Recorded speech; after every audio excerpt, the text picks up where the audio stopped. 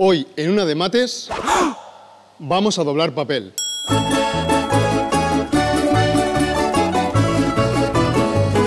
Todos hemos doblado una hoja alguna vez y nos la hemos metido al bolsillo. Algunos la doblan una vez, otros dos y algunos valientes incluso se atreven a doblarla tres veces. ¿Pero podríamos doblarla 20 veces? La respuesta es no. En la práctica es casi imposible doblar un papel más de 8 veces. Pero imaginemos por un momento que fuese posible.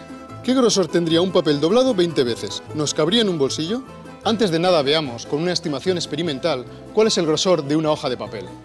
Cogemos un paquete de 500 hojas y medimos su grosor, que es aproximadamente 52 milímetros. Luego dividimos esa cantidad por el número de hojas del paquete. Resultado, 0,1 milímetros por hoja. Pero para calcular el grosor del papel doblado, tenemos que saber cuántas capas de papel se generan cada vez que lo doblamos. Si lo doblamos una vez, tenemos dos capas. Si lo doblamos otra vez, salen cuatro capas, que es 2 al cuadrado. Al doblarlo por tercera vez, nos salen 8 capas, que es 2 al cubo. Es decir, que cada vez que doblamos el papel, la cantidad de capas se multiplica por 2. Al principio, el número de capas no se incrementa mucho. 2, 4, 8, 16, pero luego empieza a dispararse. Con 10 dobleces, el número de capas sería 2 elevado a 10, o sea, 1024 capas.